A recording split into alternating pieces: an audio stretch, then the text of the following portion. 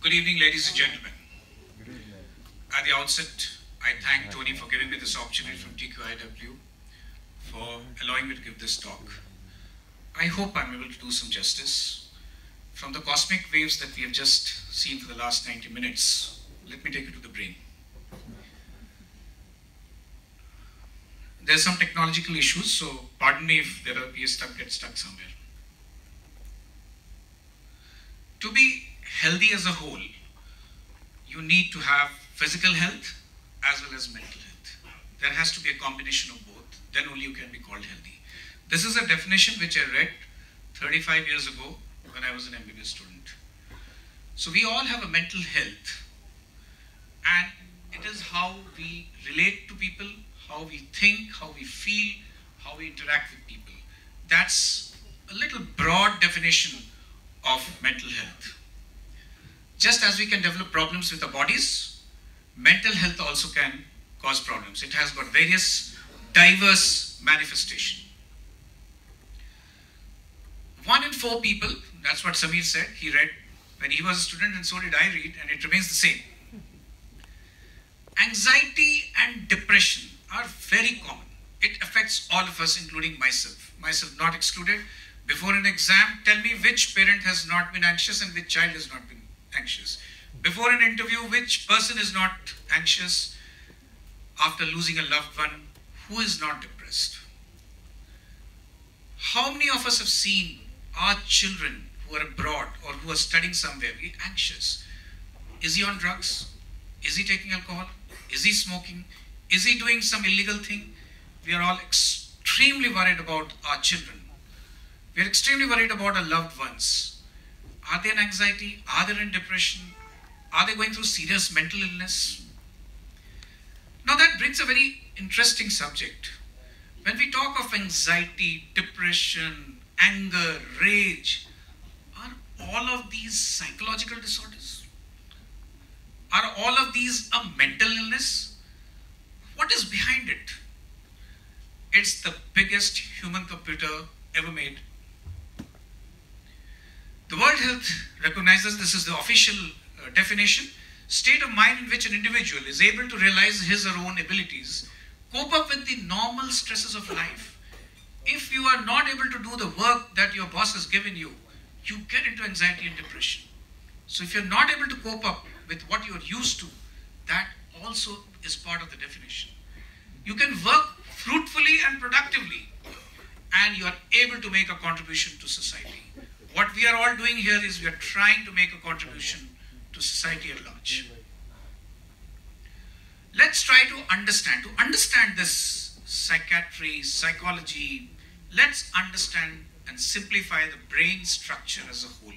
Once we understand the infrastructure, the hardware, we will get to understand the software. So as we know, the brain has got certain lobes. One is the, called the frontal lobe, the parietal lobe, the occipital lobe, the temporal lobe, the cerebellum, and then from the brain we go to the spinal cord. This is the basic structure we all know from our biology classes in school. Now, there is a higher brain. The frontal lobe is called the higher brain. Why? Because this is the part of the brain which uses judgment, understanding, emotions. They all originate from here. How to interact with person A, the frontal lobe tells me. How to interact with person B, my frontal lobe has taught me. So that is why it is called the highest power of understanding. Now there is a difference. Does the left side of the brain think right the right, right one? No, there is a huge difference. Now this what I show is stands good for people who are right-handed. Reverse may be true for people who are left-handed. So the left, sorry, the left-handed are concerned with the, uh, the left side of the brain is concerned with logic, math, language, reading, writing, analysis. And the right side, personality, creativity, intuition, music, mm -hmm. art, spatial abilities. I'll just stop here for a minute. I'll tell you why reason. You have heard of people having stroke who become hemiplegic and he can't speak. You'll be surprised to know. If they lose their speech, the damage is on the left side, as I've said, language. But believe me, If you ask them to sing, they will sing a song. And that's how the brain has what we call as plasticity. What do you mean by plasticity? Remember, if a part of the brain is damaged once, it remains damaged forever. But God has given a power in the brain that is called neuroplasticity. What does that do? This neural network, while you lose the speech here, this part of the music takes over the language function. So gradually as you see, after a year of losing speech, he starts speaking. Because then this part takes over. The music part. You tell him to sing, he will sing, but he can't speak. Uh, he speak, he will stutter. That's the beauty of brain. It repairs, it doesn't repair, but it relays the neural network inside the brain. Now, frontal lobe is, this is where the frontal lobe is. It's in, involved in memory functions, emotions, decision making, personality. And Broca's area is the one which is concerned with speech. Now, speech is not only talking, it's vocabulary, it's grammar, it's the tenor, it's the tone, it's the reading, it's the writing. There are certain, supposing you get a stroke here, you will not be able to name an object. You can't say this is called a mic. You will say uh, this is a pen. Okay? So these are the damages which happen, but the surrounding area will take over the function of this and you can start calling a pen a pen and not a mic as a, as a pen. The parietal lobe is required for sensation. Supposing I touch myself here, that is transmitted to the parietal lobe where the function is understood. Okay, this is a soft touch. This is a pinprick. This is a soft touch. So that differentiation occurs in the parietal lobe. Why I'm telling all this is because the, the sensations that we get when we are low, when we are angry, are all integrated here. Temporal lobe.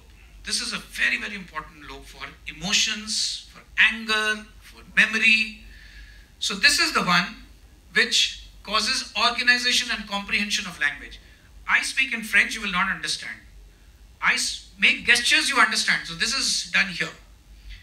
Now when I say something to you, it is processed in this area called the Wernicke's area.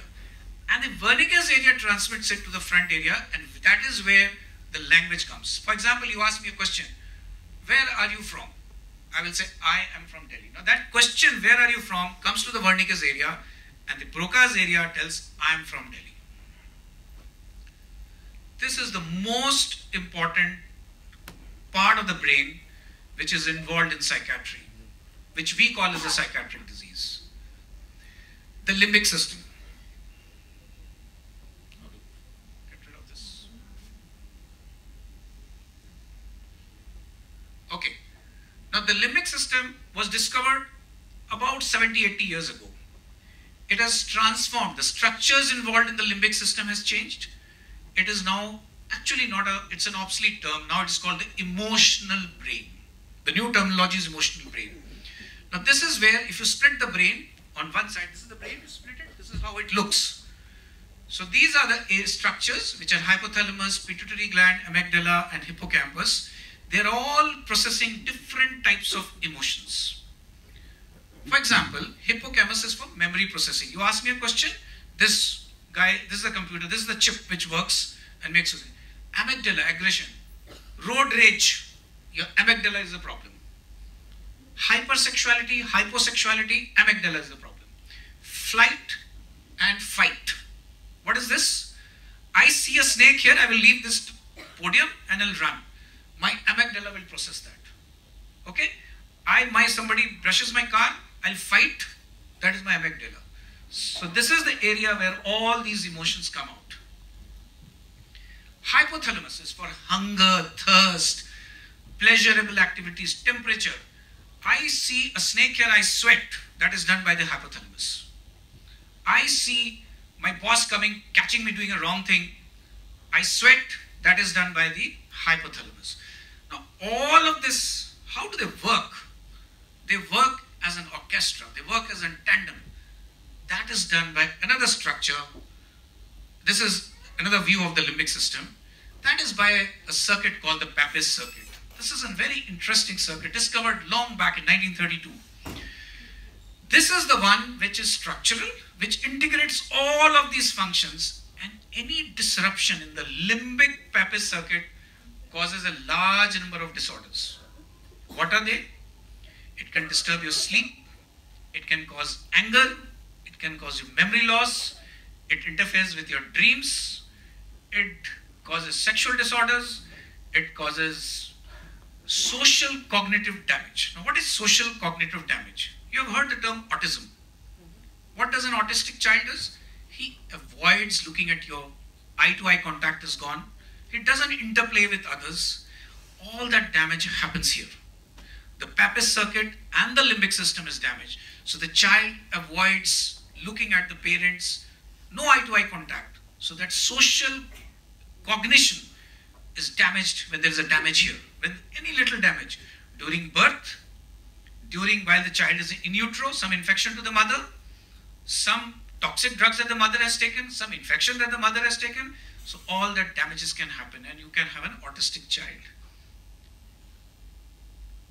So functions are this. It is an integration of all these senses that we have, emotional behavior and motivation. I'm sorry. So now what all can happen? There are certain disorders which are specific, which presents as psychiatric, but they are not psychiatric disorders. The manifestation is, so for example, depression, anxiety, anger, abnormal behavior, not sleeping, they are like fever. They appear like fever, but you can have fever because of viral fever, you can have due to dengue, you can have malaria. So depression and all these psychiatric symptoms are due to a particular disease. And that is what our job comes in. So you can have if an eye hypo, sorry. So all of this disorder which I've written, Kluver-Bucy syndrome, anxiety, panic. Now you will ask me what is Kluver-Bucy syndrome? Kluver-Bucy syndrome happens when the amygdala is damaged. So you have hyperorality. The person does moves the lips, the mouth all the time, fiddles with his genitalia or her genitalia. A young 12-year-old boy suddenly starts fiddling with his genitalia. That is a Kluver-Bucy syndrome. It is because of any kind of damage that has happened to the amygdala. It can be a stroke, it can be a trauma, it can be an infection, it can be a demyelinating lesion which has extended there, or it can be a toxic insult. Hyperlimbic, you can have mania, OCDs and all because of this. Now the question is, are brain and mind the same thing? This discussion happened for last one and a half hours. Some part of it. Hmm. Are they different? Where is the mind? Where is that located? Is it located in the galaxy? Is it located in the heart? Is it located in the brain? Where is this mind located? It's all in that circuit, the limbic system, the Papez circuit, controlled further by the frontal lobe. This is my knowledge, which is very, very little. Believe in me, I don't know anything about it.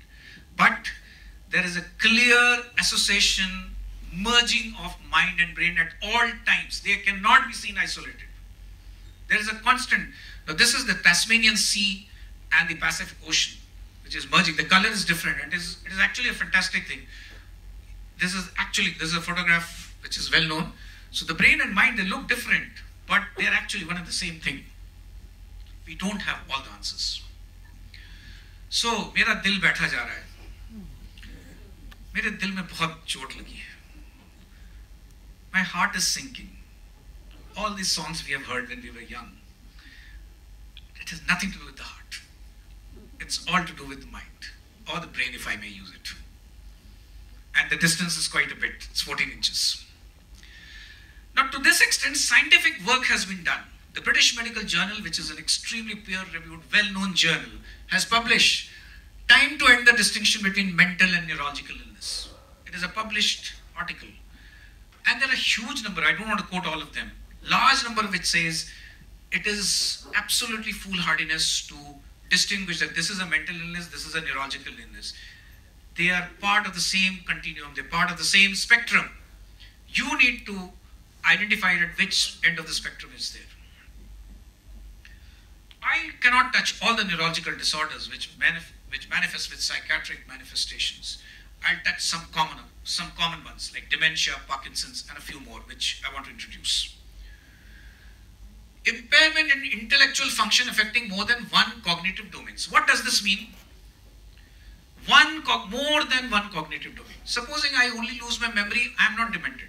But if I lose my memory and if I lose one skill which I knew, then possibly I am developing dementia. Alone, one single domain is not sufficient. So, multiple, suppose I become disoriented, I have lost my short term memory and I've become disoriented, I can't recognize my close ones, or I can't recognize this is a kitchen or a washroom. Then, and as well as I'm losing memory, then it is a sign of dementia. And it never happens suddenly, it happens gradually. Suddenly, if it happens, it's a different cause, it's never a dementia. Now, these very important thing to understand when your family member is losing memory, family member is not understanding, family member is behaving abnormally, there are huge number of reversible causes. Our sacrosanct job is to identify them and reverse them. All of them need not be condemned as degenerative, incurable disease. I'll just touch upon them.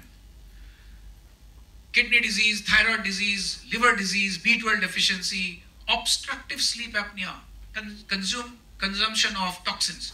Obstructive sleep apnea is your partner snores whole night and he's drowsy the next morning. He will have short-term memory. He will be disoriented once in a while. It doesn't mean he's got dementia. It's completely correctable and reversible disease. He's got trauma or a tumor or a multiple sclerosis or syphilis or a normal pressure hydrocephalus where the water increases in the brain. He will also behave like a demented patient, but completely curable, treatable, reversible. Similarly, alcohol, drugs, drug induced. Now I'll give you an example. I get many patients who are treated by my fellow gastroenterologists with a drug called levosulpride because it prevents the vomiting part of it. They can, ha ha, my vomiting theek ho gaya. But the family members noted that this guy has become slow. This guy has become, he doesn't know what he's talking his vomiting has stopped. Levosulpride induces Parkinsonism. And because of that, he gets depression. So the guy has been roaming about the countryside. Yaar, ये depressed क्यों हो गया? ये ये इतना slow क्यों हो गया? The reason is that drug.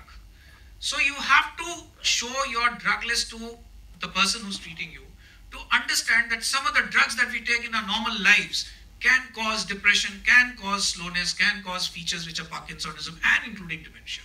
so one has to have a continuous knowledge. It, you cannot isolate the patient and treat, okay, this is my gastroenterology, this is my neurology. You have to have an interplay. Otherwise things don't work good. Now what we understand is dementia are these four, big four. They are degenerative disease. There is no cure for them. They are the Alzheimer's, vascular, Lewy body and frontotemporal. Now these are called the primary degeneration of which Alzheimer's type disease is one of the big ones. I'll just touch upon it. There is a condition called mild cognitive impairment. This is a precursor for getting dementia. You know, you start noticing your spouse or your family or your loved ones forgetting keys. He for, forgot to switch off the uh, ignition. He forgot to switch off the AC. He forgot to switch off the. If it happens in a repetitive, repetitive manner, it is mild in mild cognitive impairment. It could be a precursor of a dementia. That is why you have to take note of this and bring it to the notice of your caretaker. Now, what is Alzheimer's disease?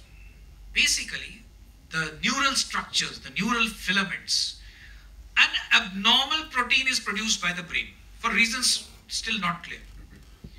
And that protein goes and disrupts the neural network and it preferentially affects certain part of the brain. As a result, you lose your memory, your orientation, your understanding of things, and as it as the deposition goes on and on and on, you lose yourself. Now, can I have that video?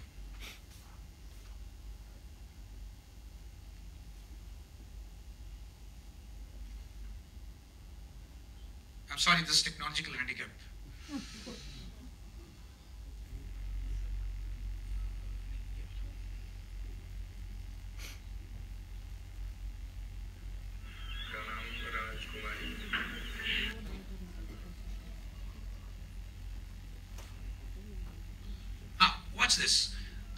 Uttarakhand मेरी wife का नाम राजकुमारी।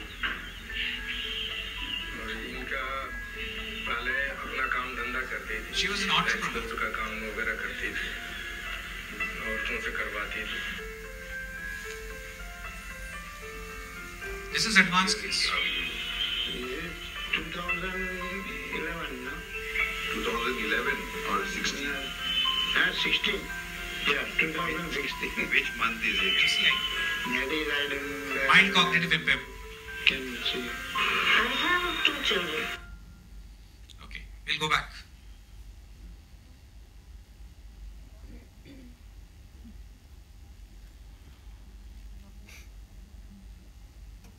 So, now, ladies and gentlemen, I want to share a good news about Alzheimer's disease. Model for Alzheimer's disease has been created in mouse and rats. So these proteins, these abnormal protein deposition which happens, it's an immunological disorder. And we have antibodies which have removed these from the rats. And the rats, which were slowed down because of the model in the Alzheimer's disease, after giving the antibodies, they've started moving about and roaming about and making interesting, like eating food, etc. I think in the next 10 years, this would be a treatable disorder, if not in the next five years. So this is hope for those who have in the family anybody. So the risk, what are the risk factors? Age is a risk factor. The older you grow, the more chance of you having this. If you have MCI before that, it's a risk factor. Now this is a test that we can do, APO positivity which we can do. We can even do a PET CT of the brain and say that this person may develop later on. Vascular list, low education, female, unfortunately, they take the brunt here also.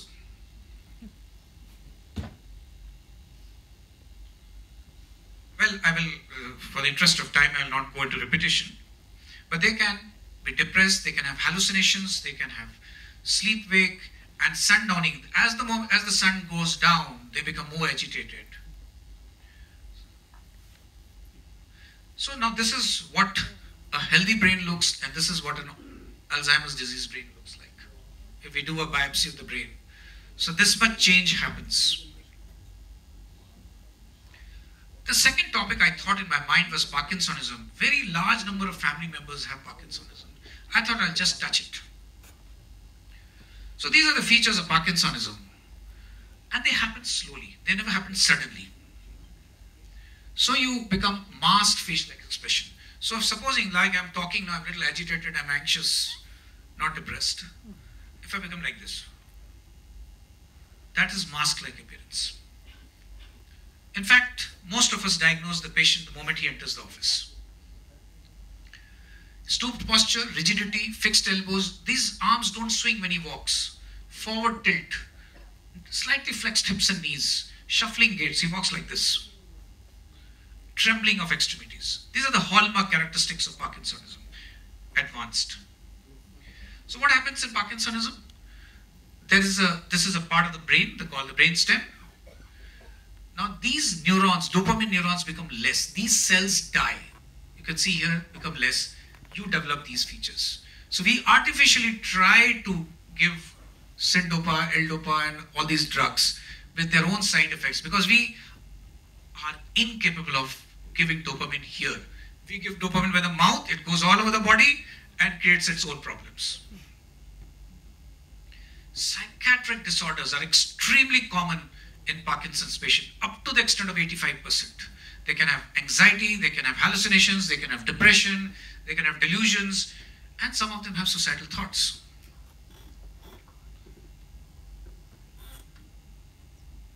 What causes this? It could be the disease per se. Even the drugs which are given for Parkinsonism can also cause these problems. Dopamine, excess of dopamine can cause excitement, can cause hallucinations. At night, they run away from home.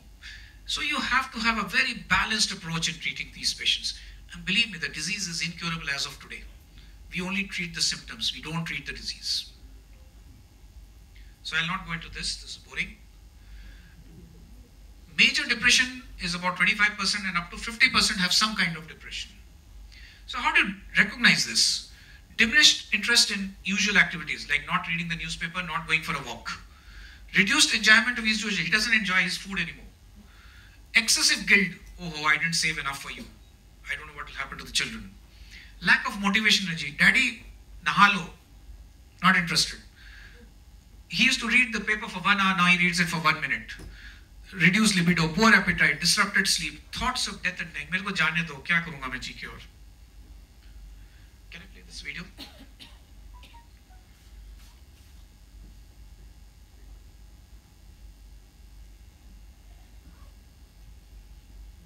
I'll show two interesting videos of my patients. This I've taken their permission. कभी घबराहट type को है रही जैसे कि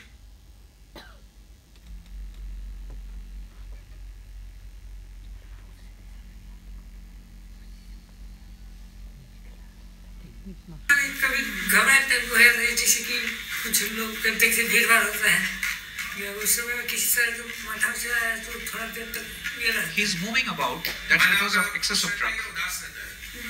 कभी खुशी भी रहता है उदास भी रहता है ज़्यादातर कैसे रहता है? ज़्यादातर खुशी रहता है आप बताइए माने तो उदास Listen to his wife. रहता है। हमेशा ही उदास ही रहते हैं खुश नहीं रहते हैं कभी नहीं। और इनको चार बाल बच्चे है दामाद है ये है वो किसी के बारे में इनको कोई टेंशन नहीं होता है। नहीं सोचते हैं किसी के लिए भी। लेकिन ये खुद का अपने मन का जो ये होता है जो मतलब आप बोलते हो तो मेरे ही बारे में बोलते हो वो बात कर रहा है सब मेरे ही बारे में कर रहा है। शक बहुत होता है। शक ये शक जो है इनको आज दस ग्यारह साल से लगभग हम लोगों को लगता था कि उसे गुस्सा से कर रहे हैं या तबीयत खराब है इसलिए कर रहे हैं। अब दो साल से लगभग हम लोगों को लगता है इनको बढ़ता ही कैसा शक कर रहे हैं? मतलब डर डर इनके अंदर बहुत है। जैसा भी ऑफ़िस के बारे में ऑफ़िस के बारे में कि ऑफ़िस में हम लोग बात कर रहे मेरे हैं बारे में बात कर रहा है ये निगेटिव मेरे बारे में बोला अगर कोई भी बात आपने कुछ भी बोला इनके बारे में तो ये रिलेट करते हैं कि बहुत आगे तक इसमें बढ़ गया Can I have the next video also?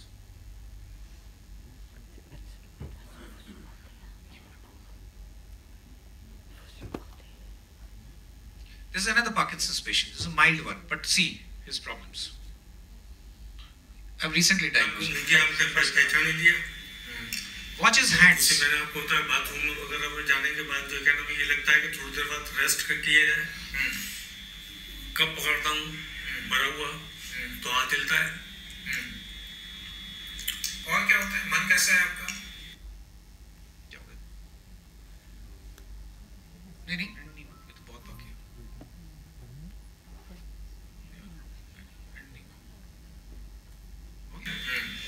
और उसके बाद ये मैंने आपको मुझे आपने पह- पहचान ही दिया। और दूसरी मैंने आपको होता है बाथरूम वगैरह में जाने के बाद जो क्या नाम है, ये लगता है कि थोड़ी देर बाद रेस्ट कर किया जाए। कब पकड़ता हूँ? भरा हुआ। तो हाथ हिलता है। और क्या होता है? मन कैसा है आपका? Ajay, I'm sorry, this is again technology challenging.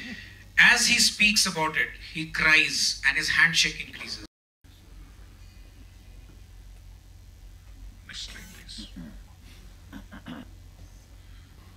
Most anxiety and depressive disorders can be treated in Parkinson's disease, and we treat them, they do very well, most of them. Multiple sclerosis is an extremely common disorder in young people. Affects a large number of them. This is my subject of interest as well. And believe in me, 40 to 50 percent of young people are extremely depressed. Unfortunately, I don't want to play this video because of the technological hassles. Not only have the limbs not moving, the bladders not moving, the other functions not happening, but they're depressed. And these are young women who are depressed, young men who are depressed in the productive